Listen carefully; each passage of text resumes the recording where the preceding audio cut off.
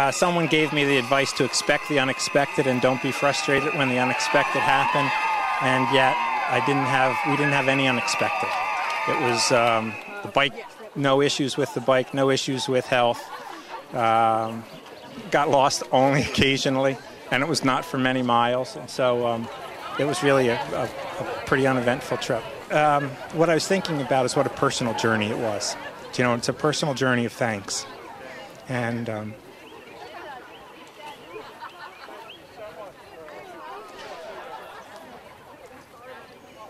without the work of Nemours, I wouldn't have my family. What does it mean to you to see all these people out here and, and the support you've gotten you know, online and, and in other ways from start to finish of this yeah, the support's been fantastic, and the support of Nemours, the support from people all over the country that have heard about the ride and who've given me nutrition advice and bike advice and every other kind of advice that you, you can imagine. Um, and then the support of all the Nemours people is just fantastic.